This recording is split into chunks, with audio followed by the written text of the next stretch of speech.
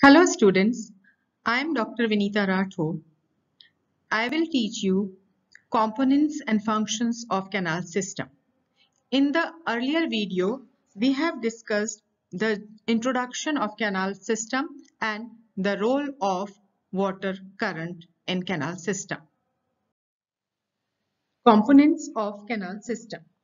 A typical canal system is made up of following components. Ostia, Piles, radial canal, apopyle, and osculum. Ostia. Ostia are the pores which are present on the body surface of sponges and they are meant for intake of outside water into the body.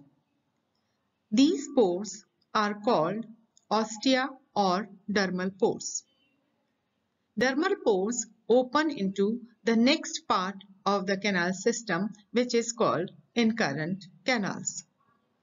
Incurrent canals are the invaginated folds of the body wall and they are also called as inhalent canals because the water enters inside from the ostia.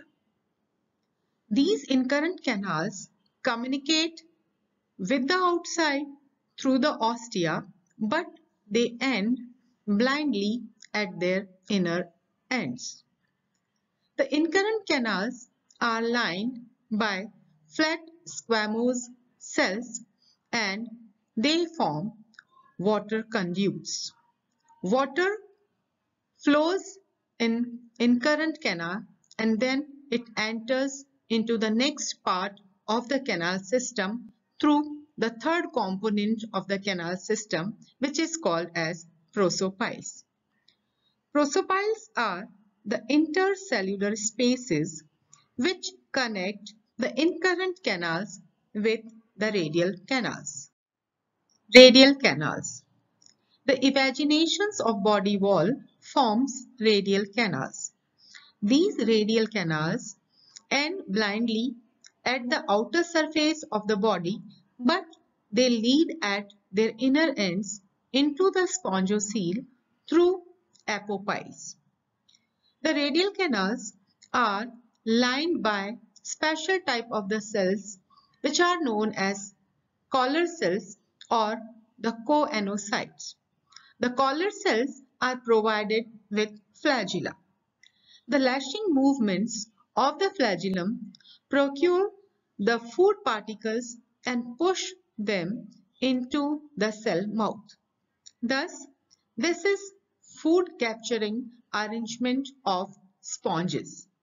The radial canals open into the spongocoel by means of a pore which is called as apopyle. So the next component of the canal system is apopyles. Apopyles are the openings of radial canals into the spongocoel and they are also called as the internal ostia. The apopyles open into the spongocoel. So the next component of the canal system is spongocoel. Spongocoel is a large central cavity of the body which is lined by flagellated collar cells or the choanocytes. Spongocoel opens to the outside by means of a pore which is called as osculum. Osculum provides provided with sphincters to regulate the rate of flow of water from inside of the body to the outside. Functions of the canal system. The canal system serves the purpose of nutrition. It is regarded as a highway for the food through the body cells in the radial canal with flagella which capture the food particles. Water currents are produced by flagella. Thus, water flows into the central cavity or the spongocoel. Smaller food particles, for example, diatoms, protozoa, and particles of organic debris are ingested into the protoplasm of cells and digested. The digestion of food is intracellular. Intracellular digestion means the food which is captured directly in the cells of the sponges. Here itself it is digested. There is no digestive system. The, thus, the canal system here does the same functions as the circulatory system in higher animals. It take up the food from the water. It digests the food inside the cells. It distribute the digested food inside the cells and it also helps in removal of undigested food material from the body through the osculum. The canal system also helps in the process of respiration. The streaming currents of the water have dissolved oxygen in it.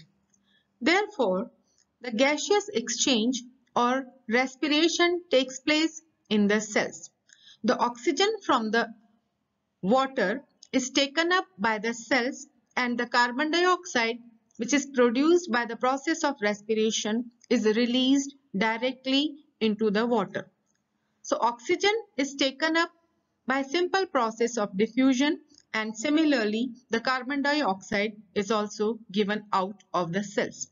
The respiration is also intracellular as the porifers or the sponges are not having any respiratory system. Their level of organization is only tissue level of organization. The next function which is performed by the canal system is the excretion. The canal system also helps in the excretion or the removal of nitrogenous waste products which are produced by the process of respiration and digestion. These waste products enters into the spongocoel from various cells and then it is liberated outside the body through the osculum. In the nitrogenous waste substance, various products which are formed by the process of digestion and respiration, they are removed from the body. So we can say that canal system also functions as the excretory system of the sponges. The purpose of canal system is also to increase the surface area of the animal in water. Because there is no system of digestion, respiration or excretion in sponges and every cell of their body is in constant touch with the water. So with the help of this canal system, the animal can perform their activities of respiration, excretion and nutrition and this purpose is solved by presence of canal system in sponges.